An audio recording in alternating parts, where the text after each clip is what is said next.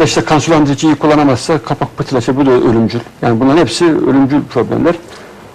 Ama hani çok sık görmüyoruz Allah'tan. Yani 100 kişiden bir iki tanesinde ancak böyle bu tür problemler olabiliyor. Ee, ama kanama problemi de e, bazen işte aşırı kullanıyor e, kan sulandırıcı. Bir sefer işte beyin kanamasıydı ya da başka yerlerine kanamalar olabiliyor.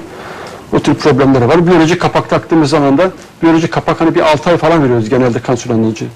Evet. Çünkü biyolojik kapak olduğu için onu e, vücut tanıyor ve e, hani pıhtı oturma mi- miktar oranı düşük.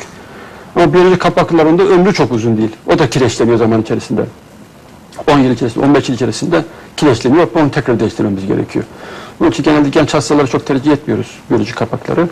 Ee, böyle 65-70'den sonra ancak tercih ediyoruz. Mekanik kapakları daha çok gençlere tercih ediyoruz. Yani ömrü daha uzun diye. Evet bu arada da izleyenimizin sorusuna da cevap vermiş olduk. Hocam son bir soruyla da e, programımızı noktalayalım. Bizleri e, Adıyaman'dan izleyen Bilizar Hanım'ın bir sorusu var hocam. Merhaba, öncelikle verdiğiniz bilgiler için çok teşekkür ederim diyor. Rica ederim. Benim sorunum kalp kapakçığımın birinde düzleşme ve birinde de daralma tespit edildi.